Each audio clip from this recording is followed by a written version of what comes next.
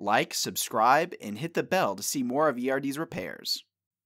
This is an F-Zero series Combivert AC drive from KEB and was sent in to us by a custom kitchen cabinet manufacturer. These servo motor controls are used in several different CNC automated saw tools and are found across the woodworking industry. The unit came in dead and had aged with several components in need of maintenance and updating. We fully rebuilt the unit and made sure all parts were properly connected, and the video shows our final test on one of our many test motors. ERD has spent several decades repairing drives from every industry, and we have the catalog of motors to properly test any drive that may be giving you issues. So, if your servo drives are starting to show their age, call us today to receive your quote.